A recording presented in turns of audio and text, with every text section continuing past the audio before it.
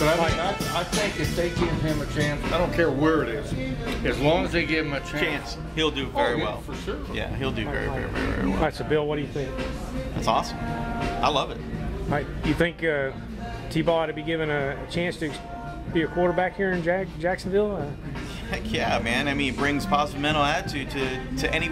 He brings positive motivation and attitude towards any organization he'll ever be on. You know, one thing that Jags have been lacking forever has been positive mental attitude and a winning team because there's no leadership.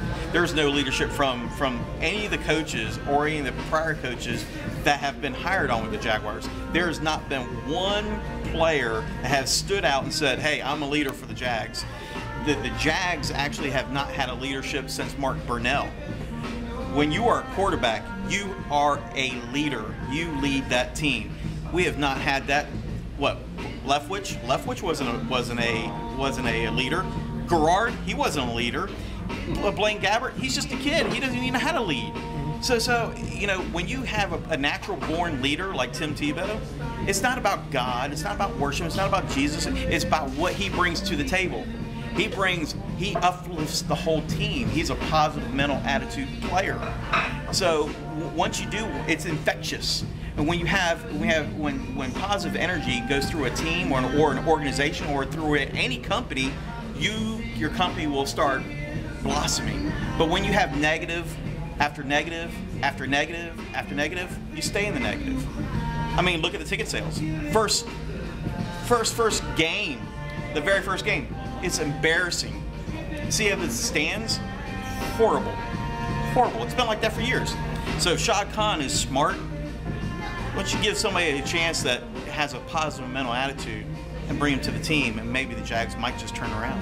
a lot of people think like you. Uh, well, there, you got a lot of people that think like me. Uh, you, you, you know, you have tons of people thinking about me. But the one thing, the one thing that people, there's a lot of negative people when it comes to, you know, about God, worship, and this, that, and the other. They always want to keep somebody knock knock that person down, and and that's that's the that's the evil side of, of being good, you know.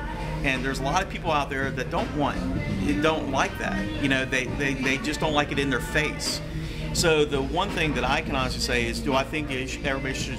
I mean, everybody should support it. Well, you know, there, you have. I think, I think if Tebow came to the came to the Jags, I guarantee that you would have so many ticket sales in the city, and the whole team will have a big. The, the, the team will have an uplift from the the fans. Who cares about the coaches?